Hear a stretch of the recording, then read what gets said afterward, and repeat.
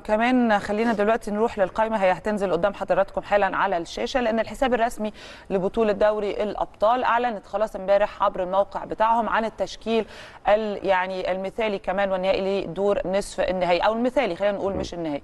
ضم يعني خلينا نقول دلوقتي القائمة هتنزل بس منهم مثلا محمد الشناوي طبعا ياسر إبراهيم علي معلول كهربا بيرستو والعديد من اللعيبة يعني اللي كل لاعب منهم أساسي وكل لاعب منهم مهم وكل لاعب منهم بيقدم أفضل ما عنده وشفناها في كل الماتشات يمكن الماضية.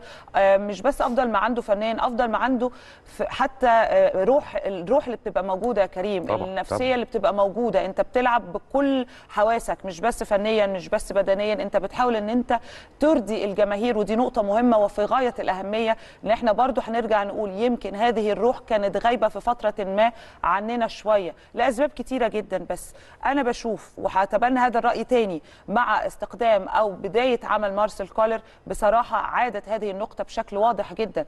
أنت بتشوف اللاعب بتاعك مهما كان هو مين؟ اللاعب لما بينزل من أول دقيقة لآخر دقيقة يا كريم هو بيأدي بأفضل يعني شيء عنده ممكن إن هو يأديه.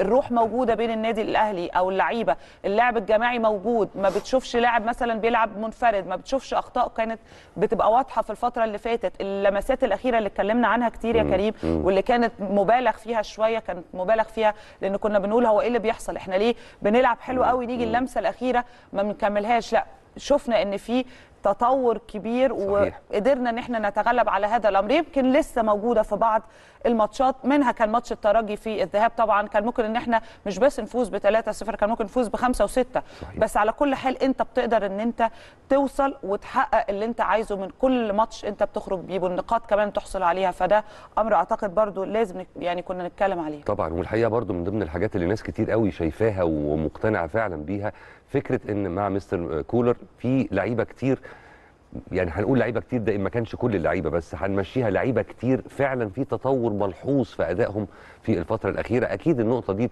تحسب طبعا للجهاز الفني وأكيد لمستر كولر.